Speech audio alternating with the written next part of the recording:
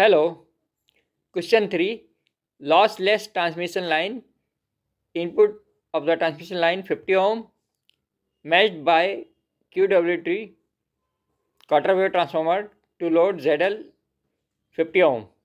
Find characteristics impedance ZO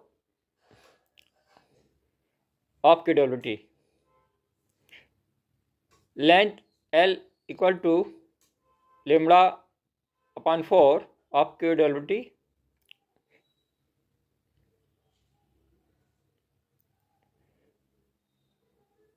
and Z in equal to Z O multiply by Z L plus Z O jet एंजन B L plus divide by Z O plus Z L j tangent B L and beta equal to two pi upon lambda wavelength and L equal to wavelength upon 4. So BL equal to pi upon 2 equal to 90 degree. So 50 equal to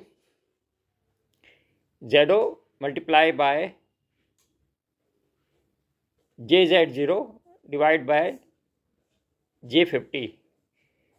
So 50 equal to characteristic impedance ZO square divided by 50 So characteristics impedance ZO equal to 50 ohm. Okay, thank you.